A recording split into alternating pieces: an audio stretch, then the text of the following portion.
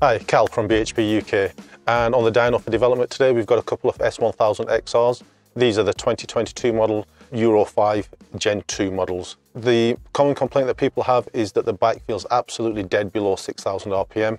There's a lot of throttle hesitancy and the throttle just isn't smooth. This all comes down to the Euro 5 regulations and if you look at the fueling here on the bike, up to 75% throttle, the bike's running at about 14.7 to 1 up to about 9,000 RPM. So anything below 9,000 RPM and below 75% throttle opening, the bike is pretty much running at stoichiometric or lambda 1.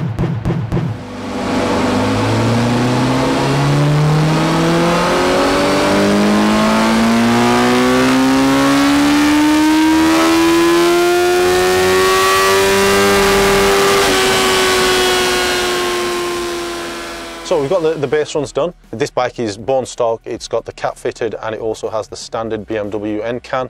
It's making 153 brake horsepower at the back wheel and it's making 80 foot-pounds of torque. After the map, this is just a stage one map, we've made a, a, really good increase in the power. We are up to 163 brake horsepower and you can see from the, the run there's a good separation throughout the rev range.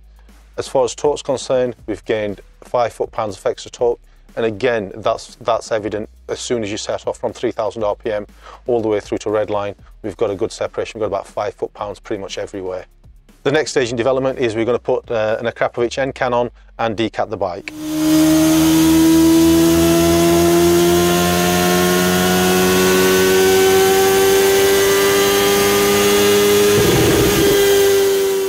So this bike, the, the decatted version, we've gone up to 168 brake horsepower, which is again a 15 brake horsepower over the stock bike.